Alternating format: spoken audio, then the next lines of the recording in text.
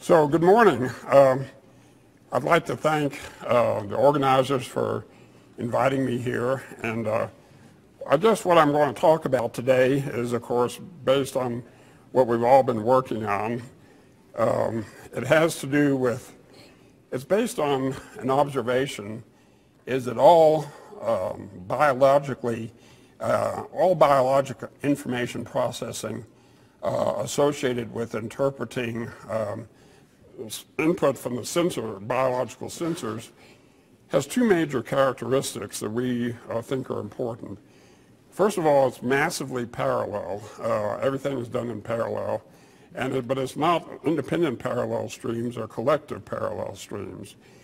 So we think that's important. Um, and it's also done with low precision analog type devices. Uh, of course, uh, also biologic information processing is done, biologic information processing is done with organic structures uh, using wet chemistry, which we don't necessarily know how to, to do very well. Uh, so what the goal is to try and find ways of reproducing some of that functionality with devices and circuits and systems that we think we can build. And for that reason, I picked this topic. Uh, convolution is, turns out to be a significant part of most uh, vision processing, pattern interpretation uh, uh, architectures today. And we are going to show you how we, we, can, we can do um, um, image recognition, pattern recognition using arrays of oscillators, which are which are parallel and are low energy and are analog in structure. So the background, I think, I'm sure almost everybody in this room knows, uh, but for my talk to make sense, there are certain elements of background that I'll just flip through very quickly here uh, and make sure everybody's on the same page because, I'm not going to take time uh, to explain it. First of all, uh, recursive networks particularly Hopfield networks, uh, seem to be uh, ubiquitous in cognitive systems. That was first noted by uh, um, John Hopfield back in the 80s when he introduced neuromorphic computing with uh, Carver Mead. Uh, so that's an important uh, aspect of what we're doing. second of all, uh, Hoppenstedt and Izhikevich. Okay. Okay, great. Okay, can you hear me now? Okay. so Hop, uh, Hoppenstedt and Izhikevich then built on those recursive networks and realized that if you implemented a recursive network uh, built with um, uh, arrays of oscillators, you could actually do image, uh, image recognition, a pattern recognition functionality. The third piece uh, that, that helped motivate us to get started in this is there are a number of new nanoelectronic devices that are coming available in the research community, uh, including spin torque oscillators, resonant body oscillators, and a new exciting one called met metal insulator transition oscillators, in addition to NIMs that could be used uh, to populate uh, these recursive networks of oscillators. So they're also in parallel to that, there's a lot of progress been made uh, in developing the architecture, and, and particularly cellular uh, co or convolutional neural networks have shown to be quite effective in doing uh, real-life image recognition, pattern recognition functions. Um, as, as the name implies, the convolutional filtering operation is the key computational kernel in convolutional neural networks and it turns out in many other uh, vision processing uh, systems as well. So, and that's the reason Intel is interested. Big data means big computing, and uh, being able to manufacture big computing solutions is, of course, of interest to us, uh, which explains why we're, why we're interested. So with th those are the factors that help motivate and put in context the topic today that I'll focus in. It's a rather narrow topic and show you how we can do convolution integrals with an array of oscillators, uh, as, and, but know that this is a key, key element of larger vision processing systems. So the next question is why now? Um, in 1993, Intel uh, brought out a neural network chip, uh, the NI-1000, and uh, I've heard about that on the elevator this morning. It was developed in conjunction with Nestor and uh, with DARPA support. But it also happens that in 1993, DARPA introduced the 487. So I don't think I need to tell you what happened next. Uh, Intel put its resources into the 487 and, um, and the NI-1000 died a swift and quiet death. so, but things are changing, and as Dan has eloquently pointed out on previous occasions, uh, the demand for processing is outstripping uh, what we think, what everybody agrees is uh, asymptoting or slowing down Moore's law. So if you looked at just a couple of years at the demands of just the military, uh, they exceed by seven orders of magnitude the computational availability of, uh, of, um, of what we can expect with Moore's law's processing. So that picture has changed. And the other aspect is new nanoelectronic devices uh, that the industry really doesn't quite know what to do with. Those have also become available, and that's factoring into uh, the decision uh, to go forward with this.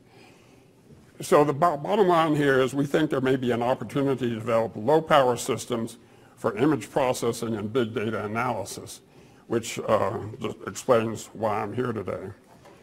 So the first thing I want to talk about uh, in a little more detail is spin torque oscillators. These are coming along rapidly. There's a lot of work going on in, on these in the research community as well as in industry. And I'll just uh, give you a couple of slides to tell you what they are and give you a flavor for how they work. But first, what I want to do is uh, show you one little video which uh, explains the whole, the whole idea of why uh, we're interested in, in coupled oscillators.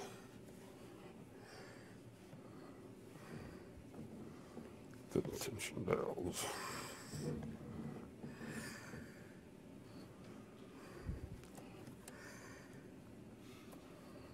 So what you see here, this uh, gentleman has five metronomes sitting on a rigid table, and they're all slightly different frequency, and they're all doing their own things. And um, they, they tend to oscillate independently of each other. Now watch what happens when he picks the board up, sets it up on the Coke cans, and introducing coupling. Basically, the independent metronomes quit uh, acting as individual metronomes, but they begin to interact as a system.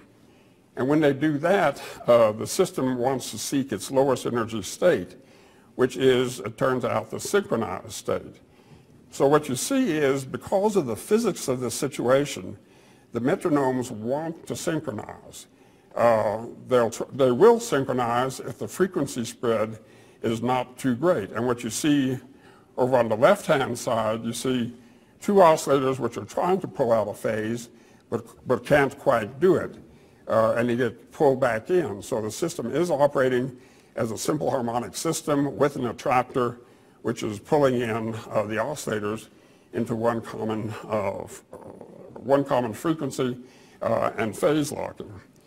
Now this system gives you information about the input. It Tell, what you know is that if the input is not too widely spread in frequency, it will synchronize. So that's a key thing to keep in mind. The oscillators are giving you information about the, about the input, um, the, the, input uh, structure, and, and they're doing computing for you. They're telling you how large that, that uh, spread is. So with that in mind, uh, just I'll throw up a couple of slides on what a spin torque oscillator is. In the simplest form, it's a slab of ferromagnetic material uh, placed on a substrate of some, some, some sort. A, a spin polarized current is, is flows normally through, through the, through the uh, ferromagnetic material, and that induces a motion of the, uh, induces a torque on, uh, on the magnetization vector of the, of the magnetic material. That torque will cause the, the, the magnetic vector to precess around the normal axis. And when you get just the right amount of current, so that the torque is just offset by the damping, then you get an oscillator. And you get the behavior that you, see here in the, in the lower left-hand corner. You see as a function of time, the oscillator amplitude builds up and it hits a limited value, which is also shown in the phase space where a limit cycle is clearly defined. Now these are frequency controlled devices. You can change the frequency by changing the current. They typically operate in, in, the, in the range of 10 to 20 gigahertz. Uh, they're 30 to 50 nanometers in size. All that is very compatible with conventional CMOS systems. And the materials involved are not exotic. They're very uh, common to CMOS processing. Uh, and they make good candidates for, uh, for an oscillator system. The other nice thing about spin torque oscillators is that they will synchronize spontaneously. Uh, back in 2005, uh, the group at NIST uh, showed the synchronization of two oscillators. These are 40 nanometer contacts uh, placed approximately 500 nanometers apart. And in the lower left-hand corner, you see, on the lower right-hand corner, you see uh, the traces of two different, you see the traces of the two oscillators. One of the oscillators is held fixed at 8 nanometers, and this is the trace here, the oscillator A. And if there was no coupling involved, this would just stay constant at, uh, at a certain frequency. Now, the other oscillator is swept over the range of 7 milliamps to 12 milliamps in this experiment. And uh, over a period of this frequency range, they phase lock. So what that means is there's frequency entrainment. The two frequencies get locked together. And, um, um, and, uh, and, uh, and you can also see that the power uh, peaks up. You, the, the, uh, the, that value of the uh, color-coded into the, into the contour plot, you see that when they coherently add, the power picks up. So that's two oscillators. To, to do anything useful, we're going to have to get more than two. So we basically, uh, uh, the group at NIST uh, constructed a set of four oscillators with one common contact to see if, uh, how well they would synchronize. Uh, it turned out for this case there was a little too much variation uh, in, in the natural frequencies of the oscillators, so only three out of the four, uh, were able to synchronize.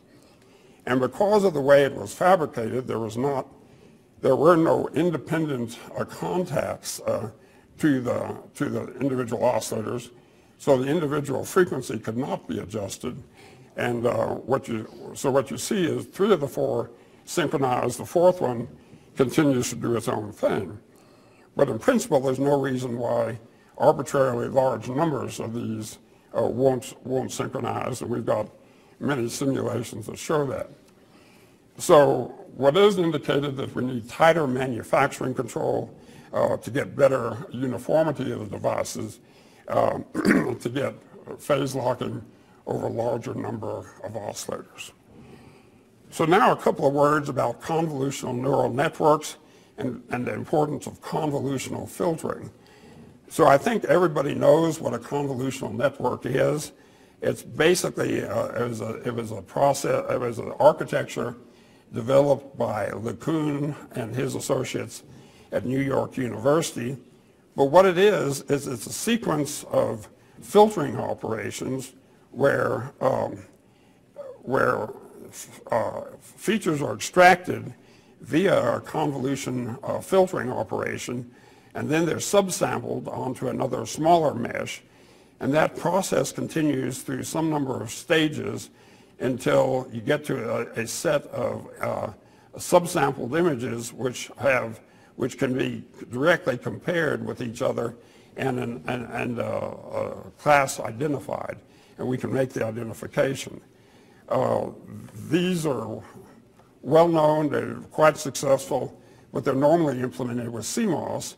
And of course, the, the dominant um, computational component of doing these is the convolution integral. So the op filtering operation, uh, to say a few words about that, you can use any filter you want, but one of the common filters that you see many times is the Gabor filter. And I think most people know what that is. It's the, functional form of it is shown here. It has three independent parameters. Uh, the S parameter will basically uh, uh, determine the locality, the size of the filter, uh, and the K and theta parameters will determine the, the orientation and the periodicity. And this is especially good for finding edges, uh, the, the Gabor filters. You can generate an arbitrary number of these. This is a continuous function of its parameters. But if you just generate 24 specific cases uh, where we keep S constant, but change the, the theta angle and change K, you get a set of Gabor fil 24 Gabor filters that look like this. And these are defined on a 7 by 7 49 element um, mesh.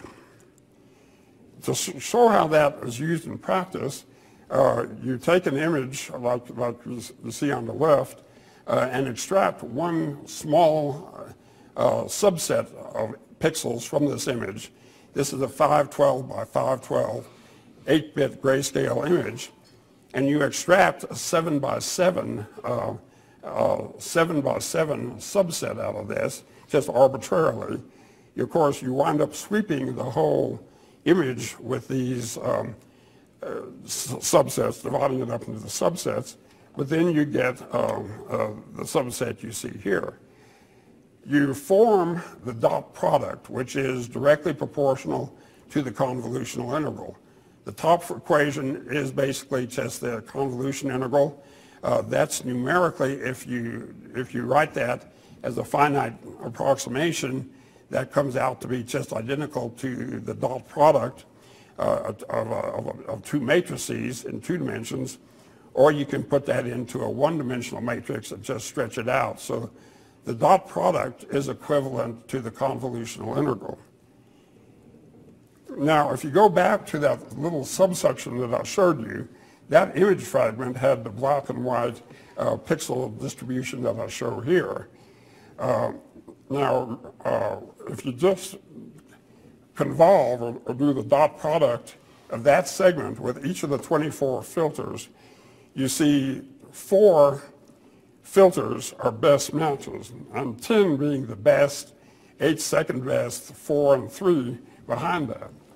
And you can kind of see why if you look at the, the, distribution of, uh, of pixels in the, in the, in the subsample for those two images, you can see that the two images, the two Gabor filters are, make a pretty good match to the distribution in here. So what you would say is that these two, you extracted the key features of this 7 by 7 sample in terms of a, a combination of these two uh, Gabor filters. So now I'll, I'll, this is how you do it algebraically with CMOS or just using Boolean operators.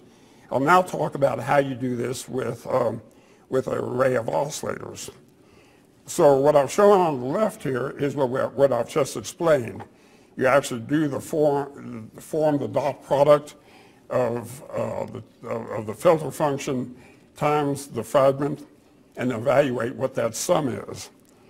To do it the, with oscillators in a non-Boolean fashion, what you do is you calculate uh, uh, you, you, you, you calculate the, the complex amplitude of each of the oscillators, and I'll tell you how they're uh, initialized. And then you do the sum and take the absolute value, and that forms what we call a degree of match which is an indicator of which filter function is the best match to that element. These, these are the equations that we actually use to simulate the oscillators. They're coupled van der Pol equations. Z is the complex amplitude of each, uh, of each oscillator. It has a real and imaginary component. Uh, the imaginary component, of course, is just the frequency, and the real part tells you whether it's growing or damping. But it also has uh, a, a, a, damping factor, which is a damping factor rho, which is the inverse of the Q factor. It has a nonlinear factor, which, is, which uh, assures uh, stability. And then there's a coupling parameter, eta, which tells how strongly these oscillators are coupled together. In addition, we can introduce a coupling matrix to, so that if, if we wanted to introduce non-uniform coupling, we could do that, but, but now we don't. Right, N is the number of oscillators here. So I should mention also that there are various network topologies that can, of course, be used. The way you connect the, the, the individual elements are vary, and there are quite a few different ways in the literature. On the left, you see the nearest neighbor uh, uh, connection scheme, which is typical of, of cellular neural networks. In the middle, you see Legion, which is locally, a local excitation globally inhibited, which is another uh, scheme of connectivity which uh, uh, reproduces a lot of the functionality, or some of the functionality in the human brain. But on the right, you see the connectivity that we use, and that involves having a central summing node. Uh, you can think of the oscillators as being spokes on a wheel, uh, being located at the end of spokes. Yeah, there's a central averager node where each oscillator talks to the central averager, and the central averager then, then broadcasts the average value of the RF signals uh, back to each oscillator. More specifically, this is, this is, consider for the 7 by 7 There'll be 49 oscillators in this. I'm just showing five. But each oscillator is uh, characterized by a center frequency and an offset frequency, delta omega times what I say is F1 minus G1. Now, F1 is the filter function. It's the Gabor filter function. And, and G1 is the value of the of the subset image that we chose or trying to, to classify. So you initialize each oscillator with the difference between, uh, between the Gabor filter and, uh, and the uh, image sample. And then you turn the oscillators loose, that they run, they synchronize or not, and the degree of synchronization is a direct measure of how closely your filter matches uh, your sample. To look at it in frequency space, remember I told you these are uh, uh, variable frequency oscillators. If you start off with a good match to, uh, to the image, and remember Gabor filter 3 was a good match, when you do the differencing operation, what you see is that most of the oscillators will be initialized with zero offset. The, the two cancel each other. The cases where they don't, they're additive. So oscillator 2 in this case is initialized with a frequency offset from the, from the, uh, from, from the uh, equilibrium frequency and so on down for the other oscillators. Uh, on the other hand, the poor match that you see over on the right-hand side is where there's not much overlap between the filter function and the original, uh, original uh, subsegment. And there the frequencies are spread, you have a wide spread in frequency, and that has a much harder time of, um, of synchronizing. If you look at the direct simulation, this is a case with a poor match. These are the phases as a function of time. You see there's no evidence of phase locking here. The phase difference just continues to increase linearly in time. Uh, the frequencies do not show any sign of frequency locking. They're spread out. And consequently, the degree of match, which is just the, the, the summed, the coherently summed value of, uh, of, of the RF frequencies is low. On the other hand, if you have a good match, what you see is you see phase locking occurs rather quickly. Uh, within 50 time steps, it's phase locked. You, you see the frequencies all coalesce to a common frequency, and, uh, and consequently, when you do the sum, uh, that you calculate the degree of match, you get a high value, and it, uh, it reaches that rather quickly. So this is, this is how we calculate the degree of match. Now, if you can compare the degree of match function calculated with, uh, with, the, with the non-Boolean oscillators to the direct calculation of the dot product, you can compare the two.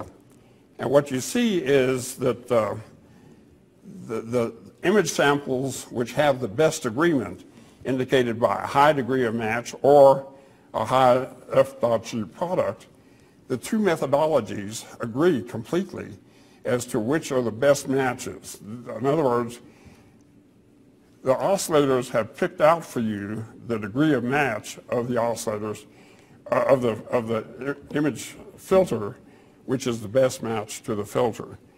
And that in a nutshell is how the, we do convolutional, in, uh, convolutional uh, filtering with a rows of oscillators.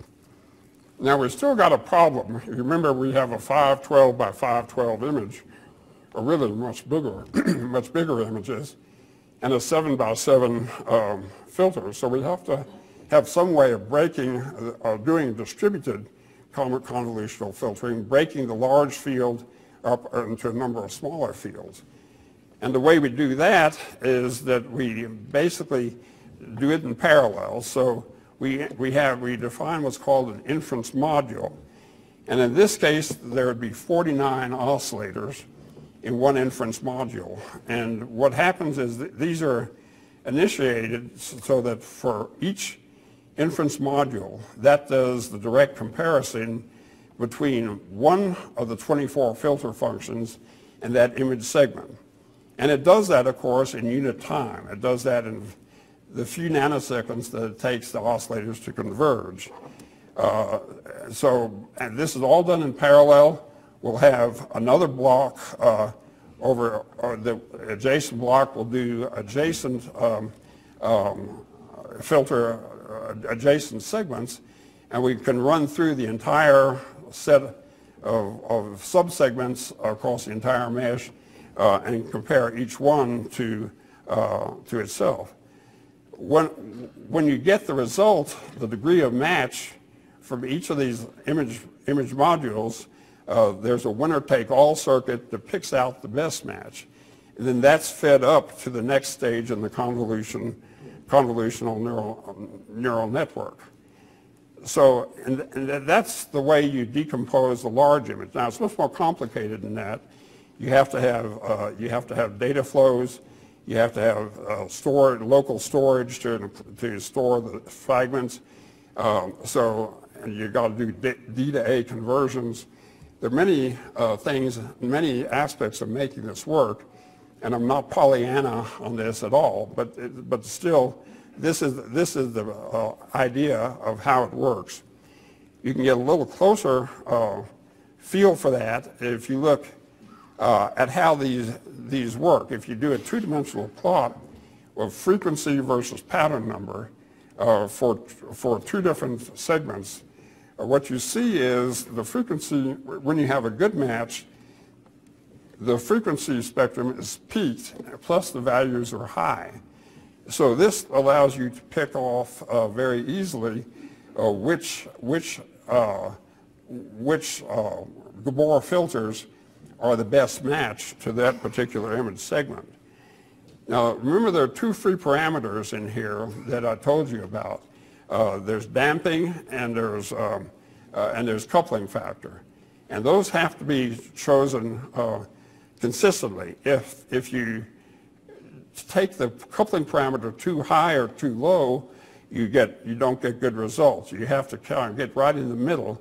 If the coupling factor is is not strong enough, very few of the oscillators lock or lock very poorly. If it's too large, then all the oscillators will lock uh, for a given degree of, uh, for a given um, frequency spread. Uh, similarly, with damping, if you cure the circuit is too high, then uh, nothing uh, couples very well, or it takes a very long time to, to uh, couple, and if it's too low, then everything couples, couples and it doesn't give you the differentiation you need. So the bottom line is there's a sweet spot in this matrix.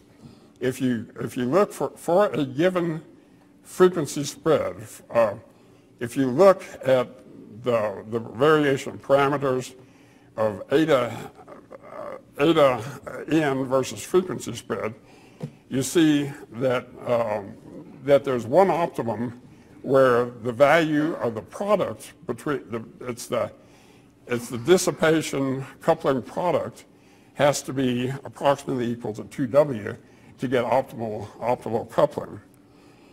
And that's that's again engineering trade-offs that when you start trying to implement these in practice, you have to take care to set your coupling parameters, coupling coefficients right, consistent with the Q to be able to resolve, uh, do the filtering that you need to do.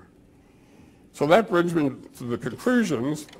And what I ho hope, hope I've left you with is uh, the idea that convolutional filtering is a dominant operation in many vision processing uh, and pattern matching applications.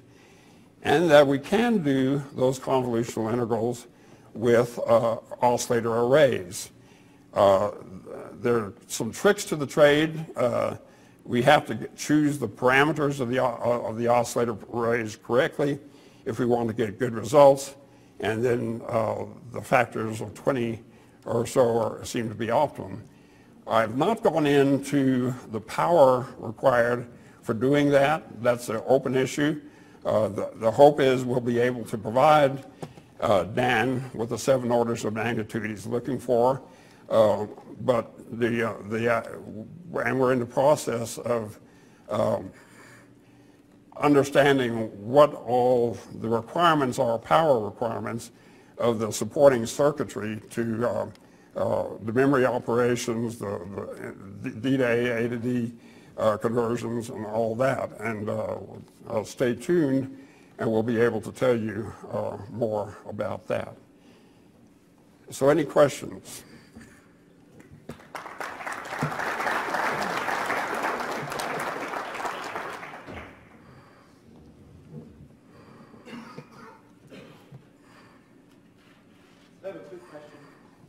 So the Gabor filtering and the convolution seemed pretty core to what you were doing. Um, if, in a more kind of neural um, algorithm where you have a lot of different filters and are not a set of canonical filters, how well is this going to scale? It's, it's the same process. Or you can, if you're doing facial identification, you know, you, you, there's various ways of characterizing a human face. Uh, and you, you, you can do, we've done that to where we've uh, used eigen faces, if you will, and, and, and then see how well it matches. But it's the same operation. If you have a filter, uh, a pattern that you're trying to match, it, does exactly what a dot product will do, uh, only it, it, does it with analog devices in this uh, in this manner. It, let, it lets the physics do the computing is the, is the mantra that we like to, to say. And hopefully with less energy. I mean, that, that's, that's, that's the hope here. It's being done with less accuracy. Clearly, these are probably three to four bit uh, accuracy, uh, but that's really all you need for most matching operations. And it's being done quickly, it's being done in unit time, rather than uh, just the time it takes to load the information and, and synchronize the oscillators. So, but yeah, the, the question is, when you do the da other data handling that you need to do, what, what are you going to wind up with in the way of energy savings? So that's, that's the question.